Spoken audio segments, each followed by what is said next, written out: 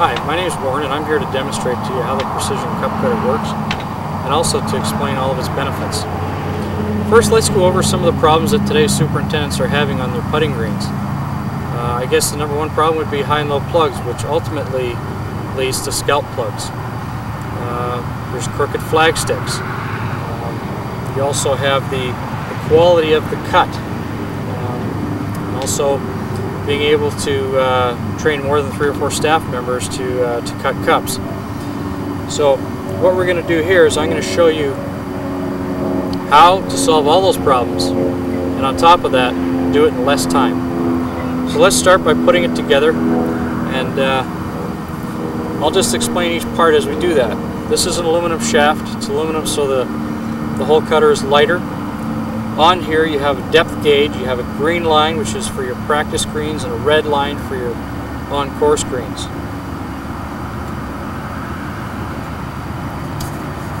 Here you've got a stainless steel blade with a rubber washer. The rubber washer here is for two reasons.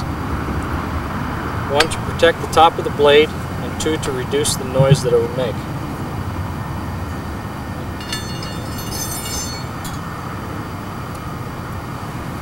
This is your hammer. This is really what does the work for you. On the bottom of the hammer is a six pound weight.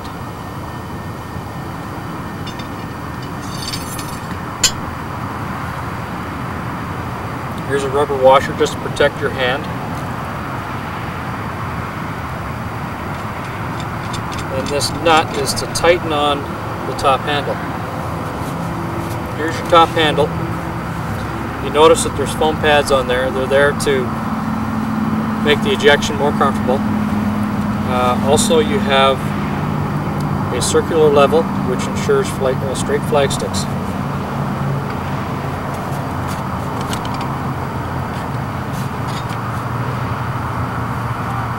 You also get a can of Teflon spray which is used to lubricate the shaft which ultimately makes it work easier and you get a video, instructional video with every hole cutter. Now that we've got it all together, let's uh, let's cut a cup. First thing I'm going to do is I'm going to turn my hooks opposite my pins. see the hooks on the blade here, pins on the hammer.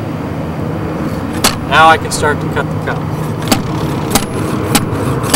First thing I want to do is just get it planted in the ground, check my level, make sure that I am straight, then just continue.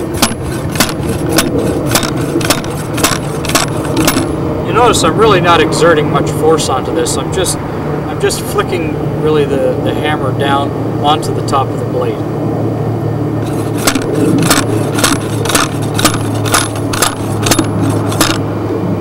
I've just hit the green line. If I was on a practice green, I just want to stop here. I'm going to keep going down to the red line.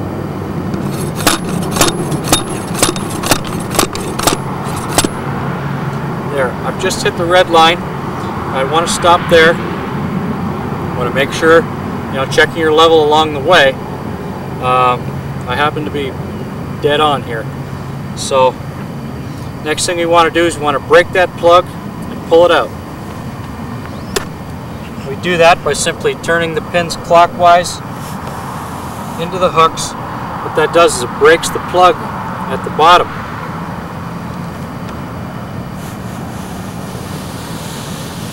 Simply pull it out.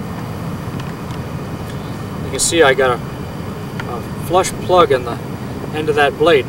Now between the depth gauge and how how this pulls the plug out, you get the exact same amount of sand every time, as well as you now have a perfectly cut cup for the right depth and a perfect four and quarter inches.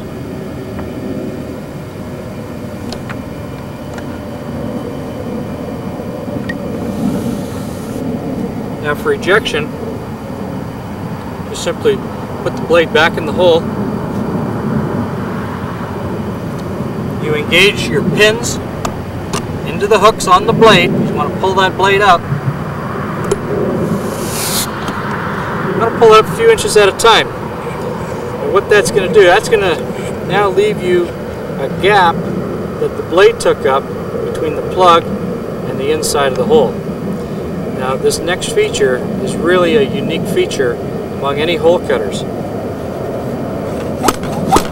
What I'm doing is I'm just tamping the top of that plug with this tamper and it's now expanding that plug back into the hole. So I'm actually fitting the plug into the hole. Again, I go up about three more inches, tamp it slightly, and then just pull it up. Now with the tamper, I can tamp those seams and I've got a perfectly flush plug.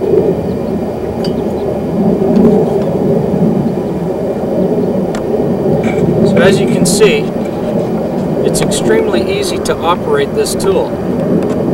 And by being able to always take one cut instead of two cuts, being able to take the same size plug every time, which is going to drastically reduce your high and low plugs, uh, being able to check if your flag stick's going to be straight just by looking at the level, um, you really reduce the amount of time it takes to cut cups typically you should take half an hour off of uh, 18 holes. So ultimately that saves you money. It should take maybe three or four months to, uh, to pay for your cup cutter. And uh, really that's how easy it is to use. And if you have any further questions, just contact your local rep.